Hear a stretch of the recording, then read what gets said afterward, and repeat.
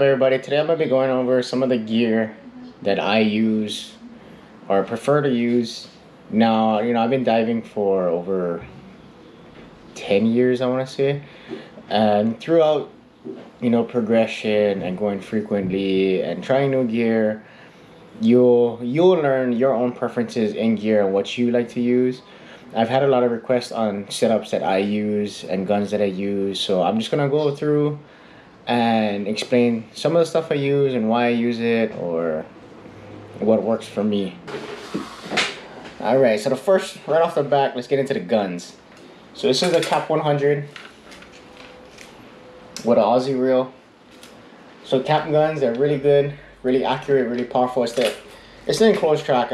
When I go through all my guns, you'll notice the one thing they have in common is that they have an enclosed track. They're easy to load, you don't have to line it up on a rail and then slide it all the way down the rail. Once you put the butt of the shaft inside the tip of the enclosed track, you just slide it all the way down and pop it in. It's fast, it's effective.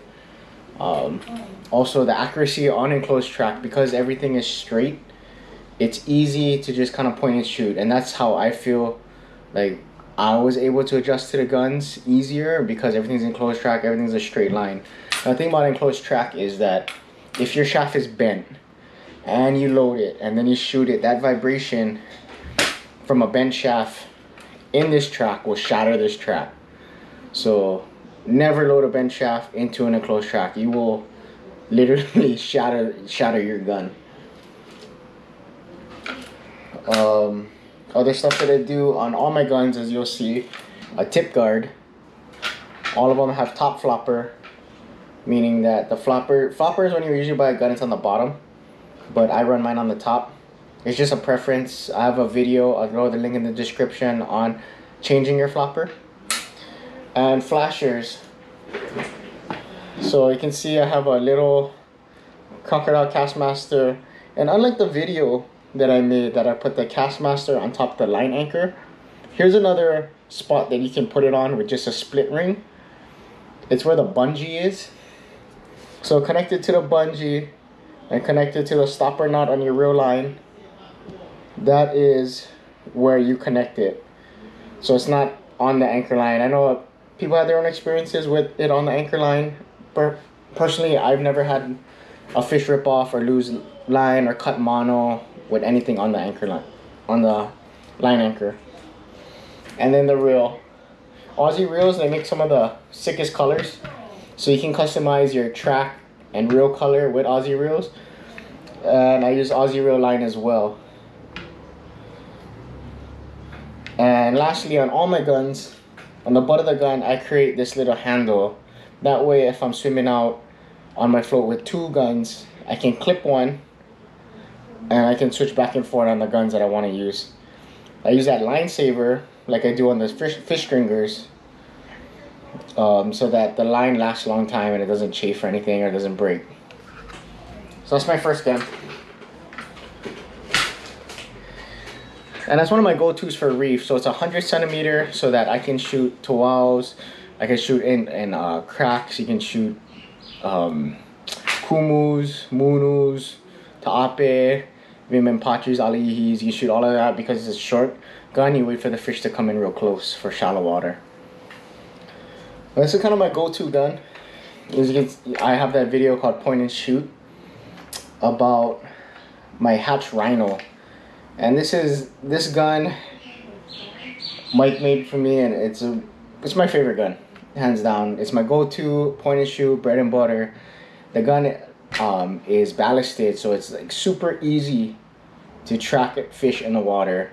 The downfall of that is if the water is surgy and you're, you're diving in surf, as soon as that surge comes in, your gun is going with it. You're gonna be trying to fight it, and every time that I fought it and tried to take a shot on a fish, I miss. That's when I would miss. But other than that, when the water's calm and the water's nice, this gun is just effortlessly tracking and shooting.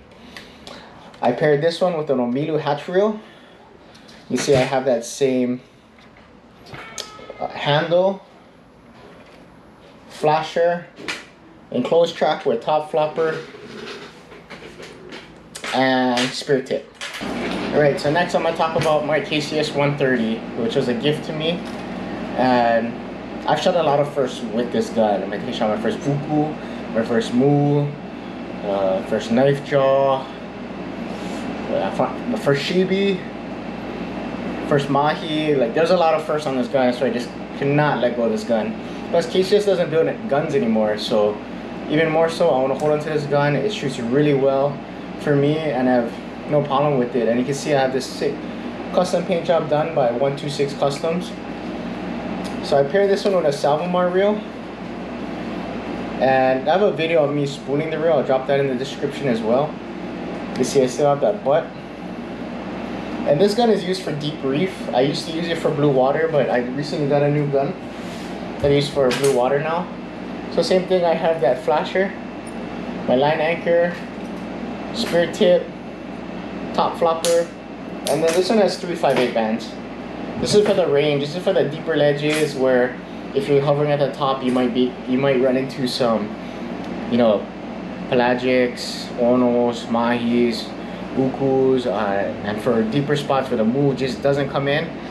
Three bands gives me enough power for range, so I don't have to hang as long.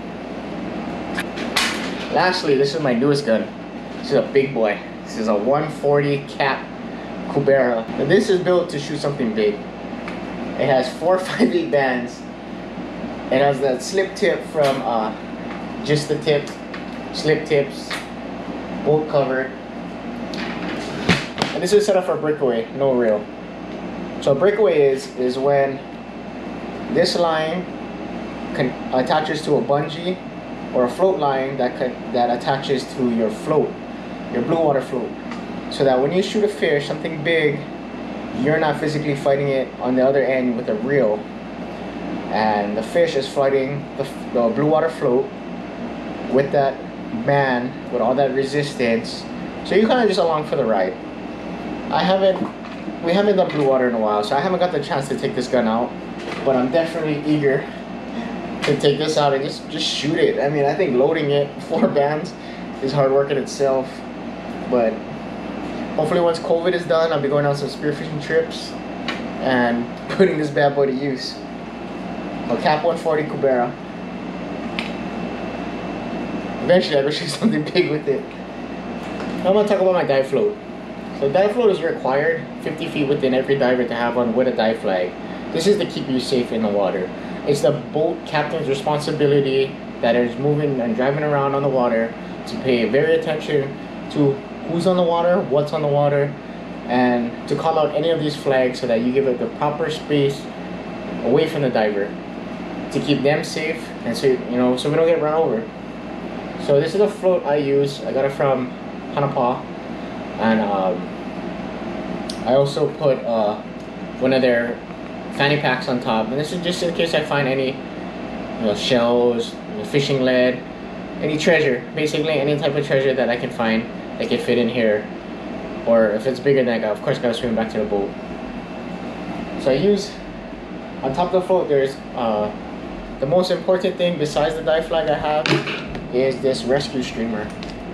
So this streamer opens up and creates this big, long yellow line that if, for whatever reason, I separate from the crew, maybe get caught in a rip current, or you know I shoot a fish and then the fish just goes on a wild fight with me down you know who knows how far. That this streamer I can open up so that I can be spotted from the from the boat um, from the sky. So and, and it's super light. All you do is just clip it on your float. I recommend everybody having this. This was a gift given to me and even when I'm just fishing on the boat and not diving, I keep this in my pocket. I clip it onto my shorts and I keep it in my pocket because you never know. The last thing you want to do is get complacent in the water. So right here, rescue streamer. And then I attach uh, a kui or a stringer on top. So I make this one kind of long and it does, it's that same one that I made on top of the video on uh, drop a link in my bio on that one it even smells like fish but but it's long and people ask me if I have a belt buoy and or if I use a belt buoy. So I have a belt buoy. I only use it for taco, and that's only to help attract fish to come in. I used to carry fish on my belt, but I mean, there's so much hazards of that, right? There's eels, there's sharks, and then there's the weight. The weight and how you gotta maneuver kicking with all that weight and I just didn't want to deal with that anymore. That was my main reason was like all the weight and the stuff in the way. And it feels good, right? You, you can touch the fish every time that um, you have something good. You feel the size and stuff like that. But now on, I just keep my fish on my float. It helps me drop and help me be a better diver in the water.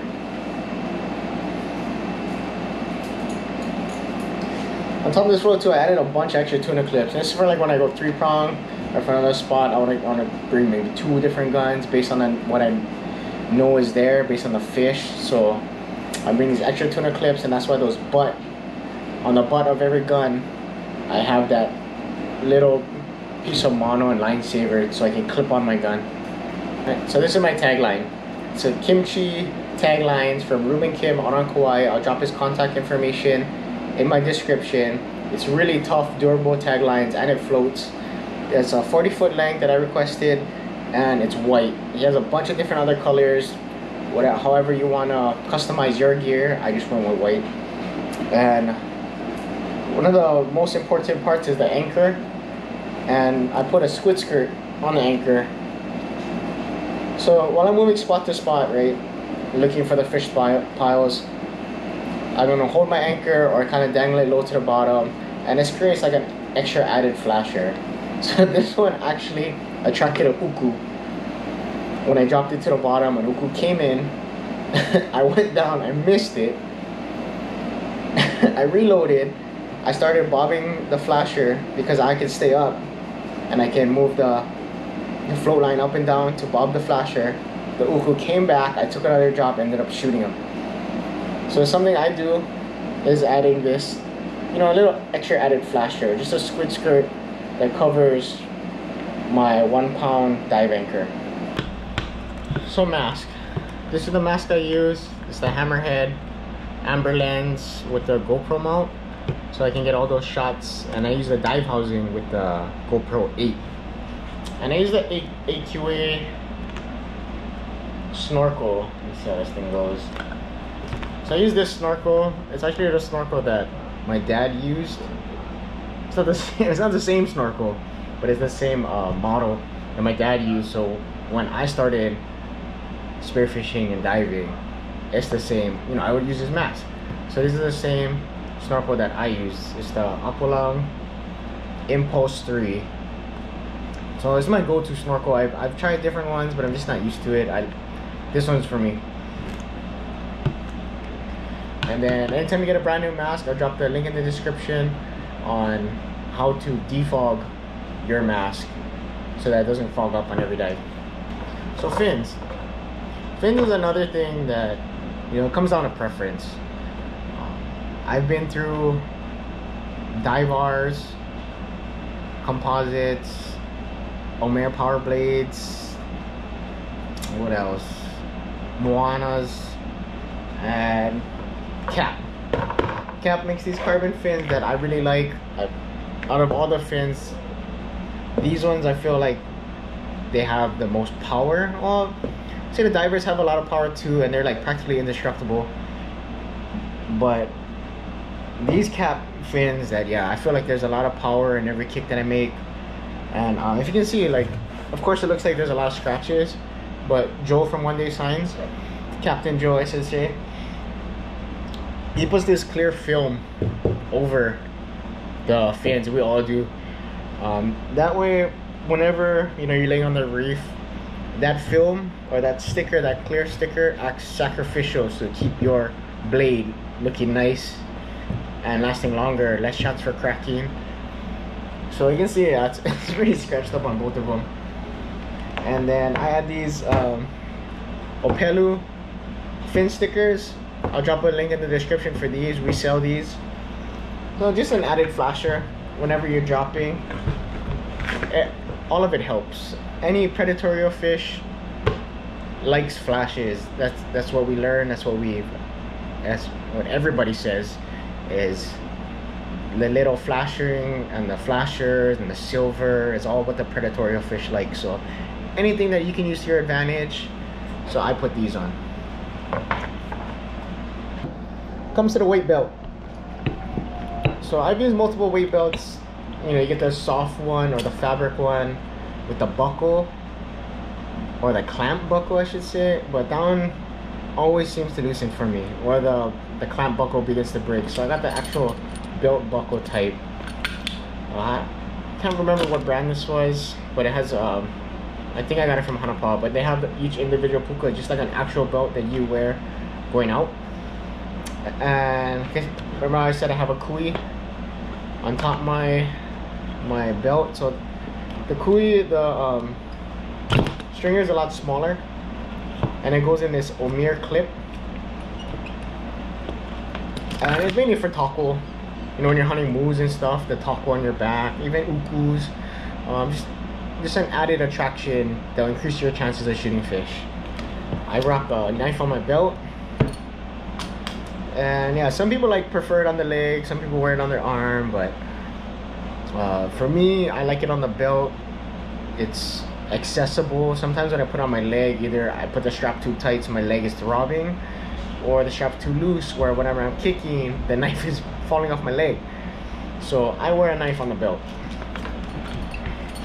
A couple little other dive accessories that I use. Um, you know, dive watch. So this is a Suunto D4i. Uh, I bought this one secondhand from a friend that I used to go diving with a lot. And it's a good dive watch. So the reason why I love using a dive watch and it's so hard to dive without it, like when the battery dies or if I forget it, like it's so hard to dive without a dive watch because I'm so dependent on it. I'm looking at how deep I am in the water, what what depth range we're at, and how long I'm in the water, so that when I'm on the surface, I'm watching my breathe up time and making sure that it's double the amount of time on the surface compared to when I was on the bottom.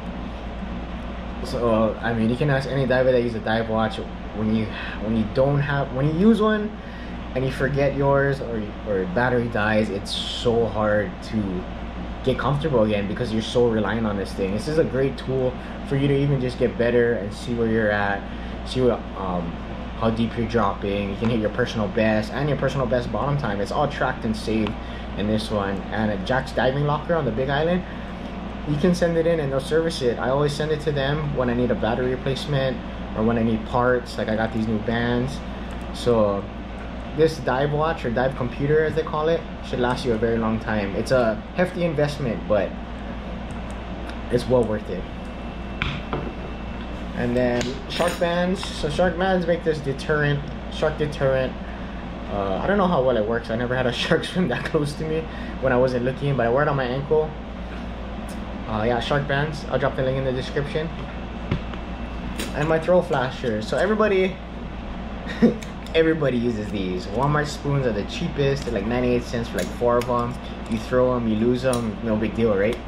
But you can make one of these, a crack pipe, as we call them. Throw flasher crack pipe. And I'll throw the link in the description on how you can make one for cheap. Because I made this one for me, and whenever I need more, I just grab more PVC, call up a friend who works with PVC, and then he drops off a bunch, and then I'm set. I have a bunch, you know and these the difference between throwing this and throwing this it's a spoon well, a spoon will flutter right like this and I it flutters pretty fast causes a lot of action and rouse up the fish sometimes I bend the spoon like this at an angle and then it drops like this so same thing that fast action riles up the fish so when you're trying to drop on it it swims away when you throw this one the crack pipe it drops like this a nice slow and steady left to right drop all the way to the bottom. And that's what you want because you want that fish to come in calmly, check it out, give you enough time to line up that perfect shot.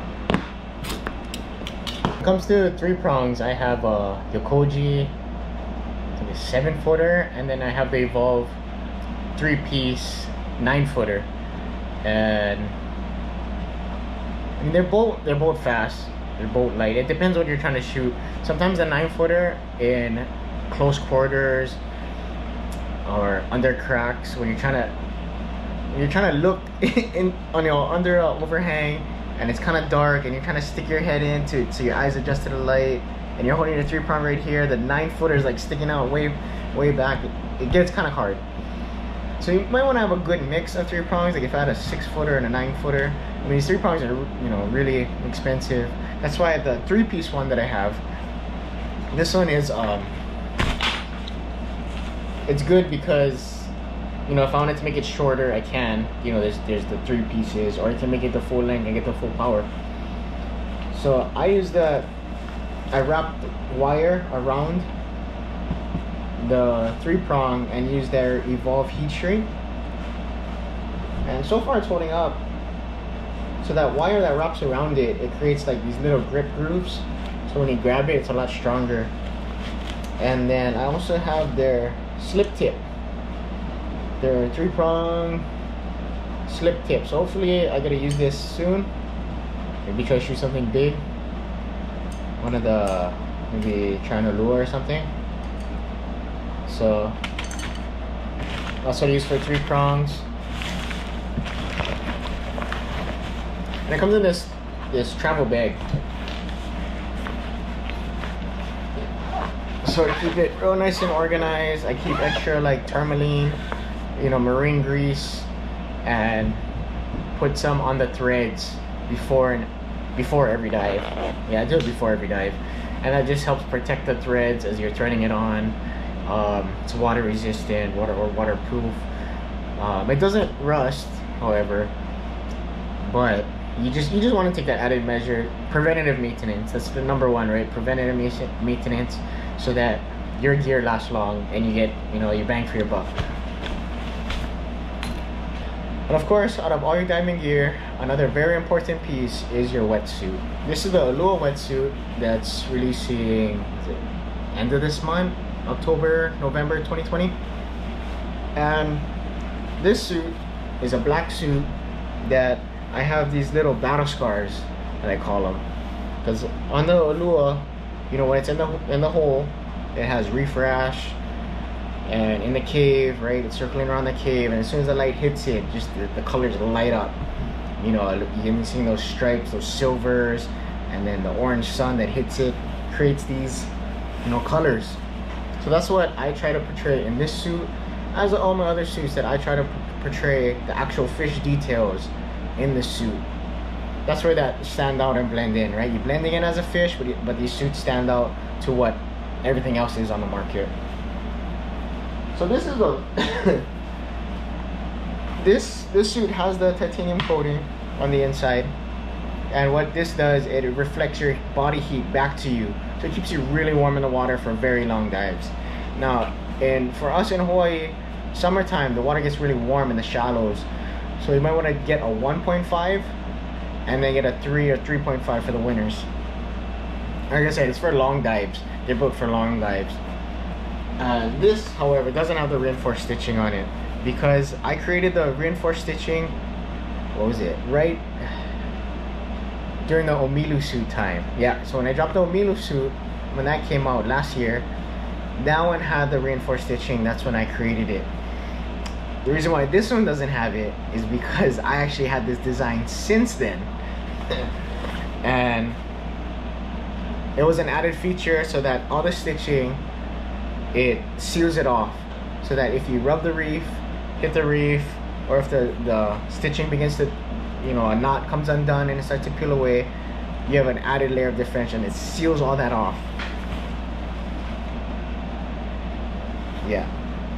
So this is, was a this is a sample suit technically and before I do any suit, I order the samples. I want to make sure that it looks good, it feels good, and not only that I'll like it, but you guys will like it. So there's a like the mini suit, right? You got the the reinforced stitching, and uh, I have a video too on putting on, taking off, and maintaining your wetsuit. Also, I hang dry all of them, so you can see I have a hanger um, I can hang dry them inside out for two days and then hang dry it like this for the rest of the way and I keep it like this this keeps the all the creases out all the folds and the creases. Um, cause you know, I mean, it depends on where you store your suit. If you have somewhere to hang it, because if you just throw it with all your dive gear and then your, your dive gear goes on top, right? The weight creates creases and it the crease is nearly impossible to come out.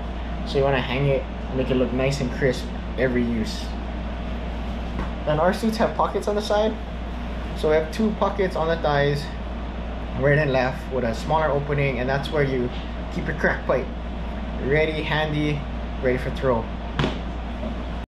So back to the Ulua suit, we're still taking pre-orders.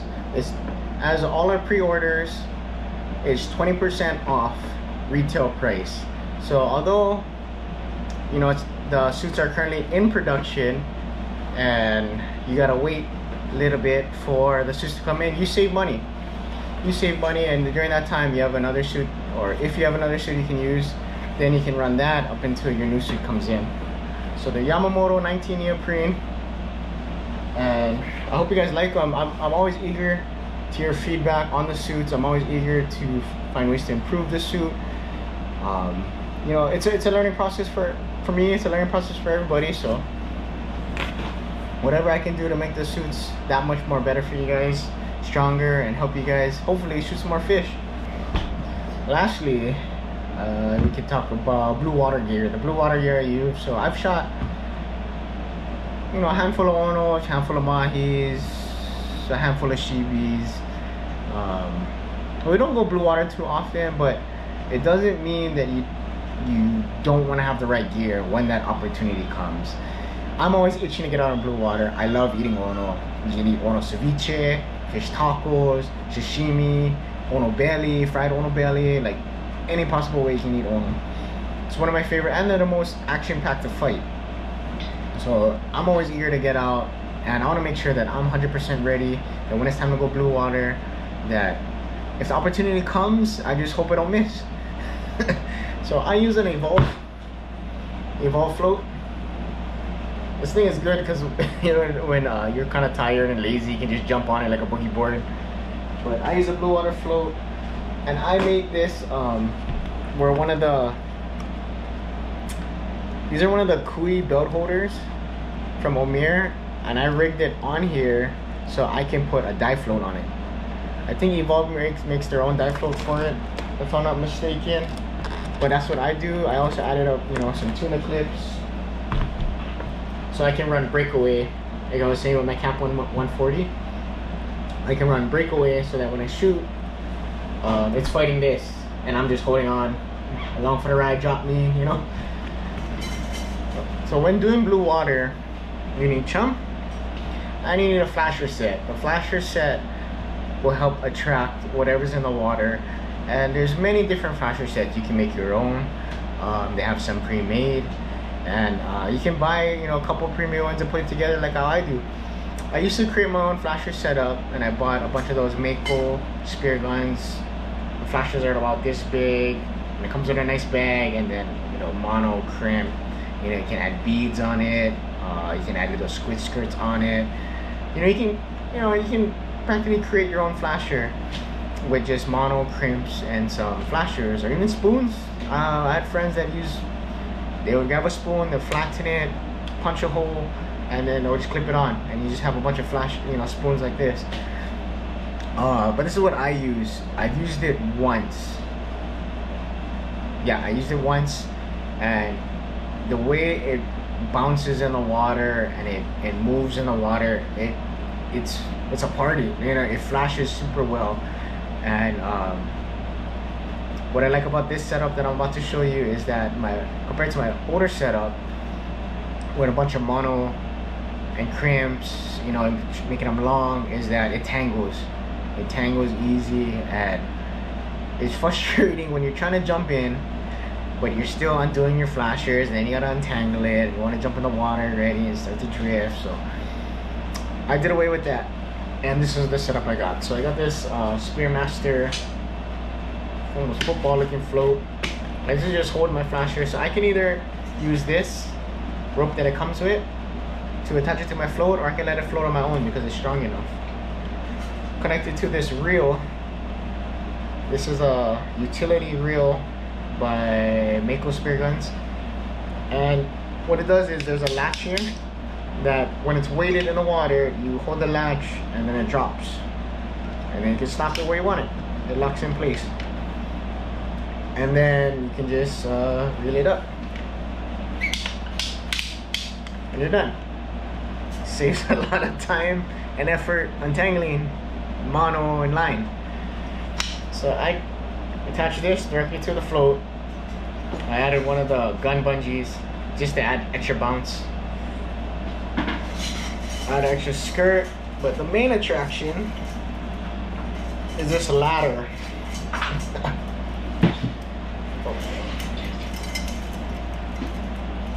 this ladder. And it it doesn't look like much now, but in the water, the thing it, it kind of like dances. You know, makes like an S, and all it all these these little square or rectangles do is they flash up and they flash down, and it's super bright. So we was on a drift, and then uh, Joe was telling me like, man, that thing was just flashing. You could see it from the top of the water when he was boatman. He was watching us, and he said that thing was just going off. Like it's super, super bright. And in the water, it looked pretty bright too. Um, I only used this setup once. Nothing came in. So, but then again, it's blue water. You know, not every time you're gonna run into something, you can drift for eight hours and not see anything. So, so because this ladder was so good, I was like, you know what? I bought another one. So on the ladder comes these squids, and it has the weight on already. So and that's the bottom of the ladder. So what I did is I added a split ring and added a double ladder. And it comes with a squid. That's that's just how much I liked it. And now I have more, you know, length in the water column that I'm covering by making the flasher set longer. And I get the way this thing is built with wire. And um, you know, it's not one single string, it's two strings coming down. Is that it's not gonna tangle. so I just throw it in my chum bag. And when I'm ready, I just throw it in the water. It's not gonna tangle. So that's what I use for flashers. And then lastly, I got my bungee. So the bungee connects. So the setup goes like this. It goes dive float. So evolve float to this bungee, which is about 25 feet. That clips on to my that uh, my float line, my regular float line, the 40 feet one, the white one. This is also by Kimchi Taglines, by the way. Um, so it goes 25, 40, and then that 40 goes to my gun. I think that's why I use the white breakaway clutch because I think my line my line is white. You know, make everything look nice and uniform. Not all kind of hammer jam colors, you know, kind. So what I use, the kimchi taglines bungee that Rube made for me too. So thank you, Rube, for that. And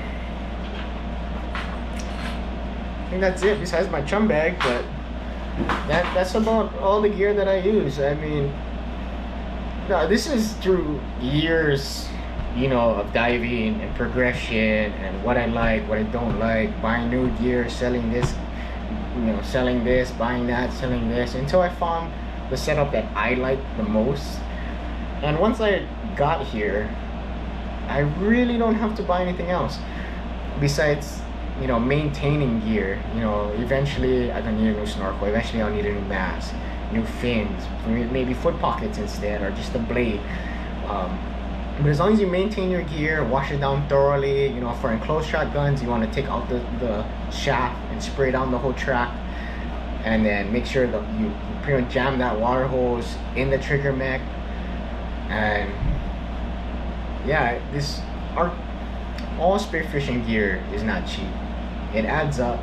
But if you can make the gear last then you can get your money's worth out of the gear you know what i'm saying? Like when i first started venture wetsuits my roy wetsuit that was uh, 2018 is 2020 now so it's two years already. And that's why I, you can get multiple suits. Pre-order save 20% off then you can have multiple suits so that way you're not running the same suit constantly. Constantly put more wear and tear on top one suit but if you alternate suits every other week then you just double the lifetime. So take your gear. Um, you know, I'm not telling you go out and buy all this gear. You know, same exact setup that I have, or you know, spend and buy the best gun, the most expensive wetsuit, the whatever it may be. Buy what works for you. At the end of the day, when you're in the water, your comfort level is based on the gear that you have. And if you're not comfortable in your gear, it's, it's gonna be a bad dive day. I'm um, really interested to hear your feedback on the gears you use or you know something that I can improve. Something that I don't use that maybe that you use I'm interested in. I'd love to try it and see what works for me. And I hope you guys you know take some um, notes if there's stuff that you like and want to try then try them out. Let me know how they do for you and yeah I hope you guys like this video. Until next time like subscribe and join us on alright guys before I go and put all this stuff away. Uh, we did a giveaway the last video where you seen me get super lucky and shoot uh, 47 pound shibi tuna in like 30 feet of water. And I had you guys drop all your comments down and all of them I read all of them okay? Don't get me wrong again I read all of them and everybody has a great story to tell I'm not gonna pick one based off the story and based off the catch. So what I'm gonna do is I'm gonna let this randomizer go and it's gonna pick it's just gonna be randomly pick four people for me on top through the comments. So if your name pumps up then you're a winner. And if you did win be sure to email me at contact